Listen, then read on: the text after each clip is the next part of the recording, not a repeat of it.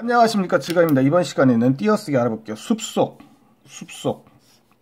뭐가 맞을까요? 띄어야 됩니다. 숲속은 띄어야 됩니다. 기본적으로 속은 띄는 게 맞아요. 기본이에요. 기본대로 가면 됩니다. 그런데 우리 마음속 그죠? 콧속 이런 건 다 어땠습니까? 붙였죠? 그죠? 물속 붙였죠? 산속 붙였어요. 이런 이런 특 몇몇 단어들 이런 몇몇 단어들은 붙여서 썼습니다. 기본은 띄어 쓰는 게 맞는데 붙여서 썼어요.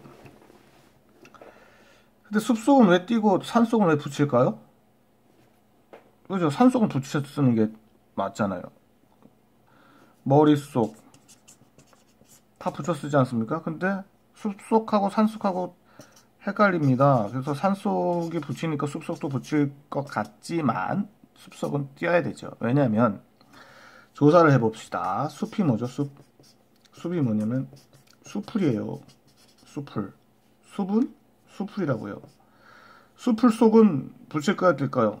띄죠. 기본적으로 수풀 속은 띄었어야 되지 않겠습니까? 그냥 어떤 직감적으로.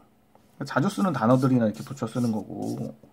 수풀 속은 직감적으로 띄었어야 되는 거 나만 그렇게 직감이 있나? 띄었어야 되잖아요. 그러니까 당연히 숲속도 띄어서 써야 되는 거죠. 나만 이해한 건가? 다 이해하셨죠? 안녕.